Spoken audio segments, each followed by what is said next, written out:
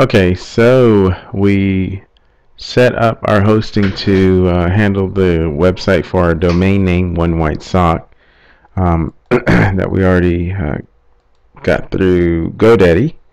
And what we're going to do next is uh, set up our e-commerce store under that domain name.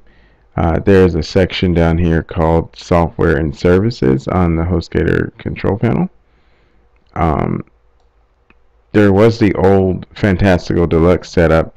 When I'll click that to just show it to you, it would allow you to install several different software uh, pieces of software on your server to do multiple things, um, like blog software, content management stuff.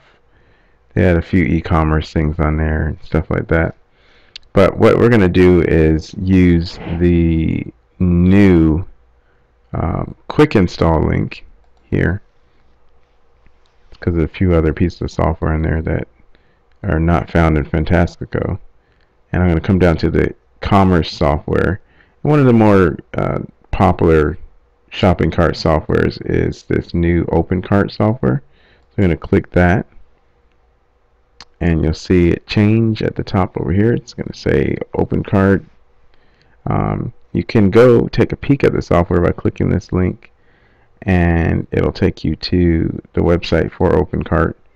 Um, it just gives you more information about it. It's, it's, pretty pretty loaded to be so free.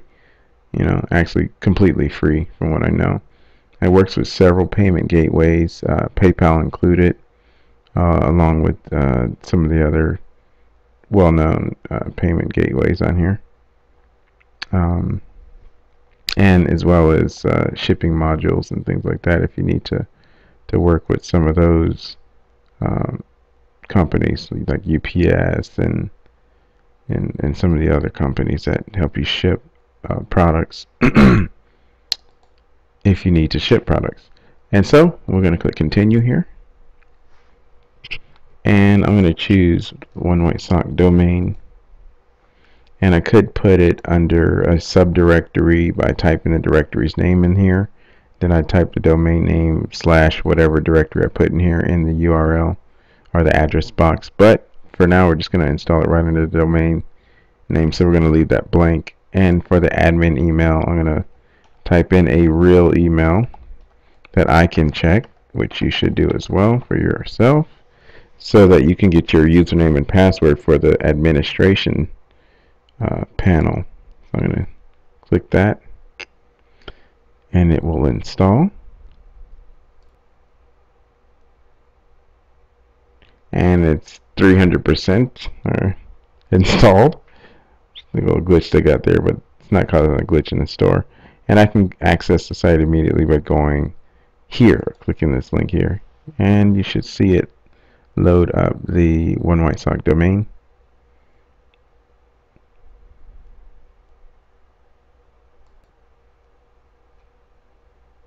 Which it did. And here's my new web store. Complete with uh, dummy products already loaded in there. I guess you can see that they have it in British pounds right now so we're gonna have to change that. If I go check my email should have the welcome email from the installation which it does. I click that. And I can see the admin panel is located at the domain name slash admin Here's my password. I'm going to double click that, right click it, and copy it since I can't remember something that long. Then I'm going to click this link so I can go to my admin panel. I'm going to type admin and I'm going to right click and paste my password. And I'm probably going to go in and change my password. That's probably one of the best things to do first along with um, doing some of the other things like changing the currency type and deleting those dummy products and put my own products in there. I will go through those steps in the next video. Thank you.